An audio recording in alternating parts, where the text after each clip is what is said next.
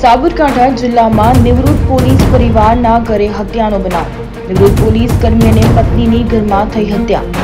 અજાણ્યા વ્યક્તિઓ દ્વારા હત્યા કરવામાં આવી.